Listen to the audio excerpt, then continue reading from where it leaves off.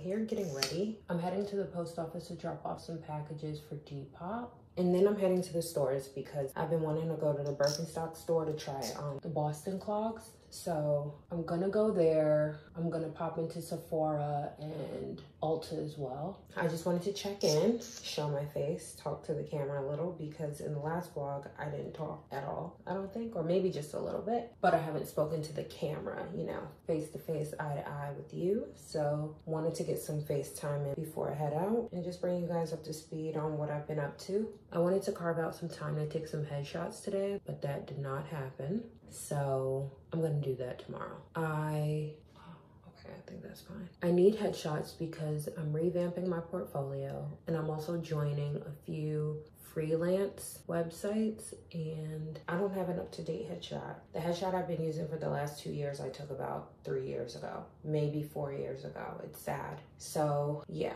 I'm going to do that tomorrow. I've also been taking some calls with a few companies that I found to be exciting and they reached out to me. I won't lie and say that I'm 100% sure that I'm ready to dive into something full time just yet, but it really depends on the company. It depends on the company. It depends on the scope of the work that I'm doing. I do know that whatever I end up doing next, be it freelance or full time, it will definitely be creative in nature. And yeah, I'm just trying not to put too much pressure on myself. I've also been making more of an effort to get to the gym, work out more, stick to my routines that I've set for myself. I want to be happy in my body. I want to be confident. I want to be able to wear two piece and feel good about it.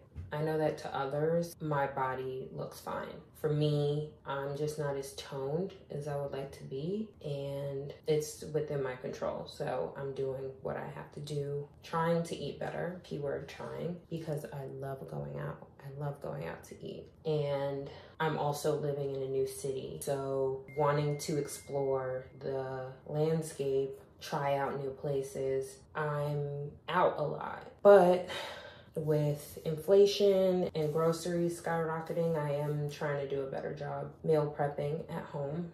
Okay, my friend is here. But saying all that to say, I want to make more of an effort to cook at home more frequently and stick to my workout routine, which right now it's cardio, so walking on the treadmill for anywhere from 30 to 45 minutes and then a little bit of weight training, not too much because I'm no pro and I'm still learning and making sure that my form is right and making sure I don't hurt myself. So yeah, um, I'm gonna head out. I love you guys so, so much. I hope you all are doing well, healthy, happy, doing what you wanna do or on your way to where you wanna be. Love you, love you, and I'll see you later.